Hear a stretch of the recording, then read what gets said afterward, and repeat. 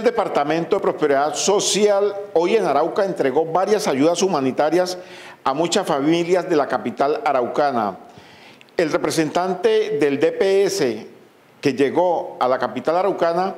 dijo que continuarán con más ayudas en los próximos días. Hemos venido a través de la dirección de oferta eh, dando unas ayudas en este gobierno nacional que preside nuestro querido presidente Iván Duque, ayudas que al día de hoy con la que vamos a entregar, que se van a beneficiar más de 200 habitantes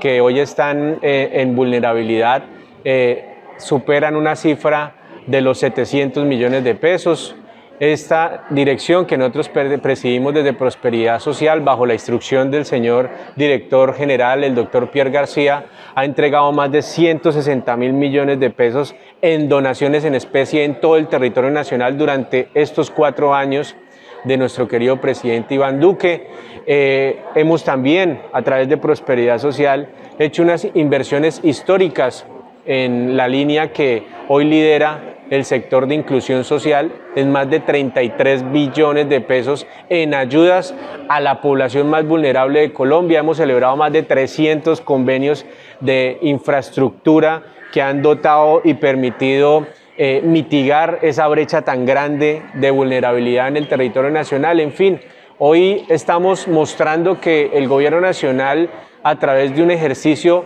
institucional, un ejercicio de articulación, está propendiendo por generar la disminución de la brecha social que hoy existe en territorios tan bellos como el territorio de Arauca.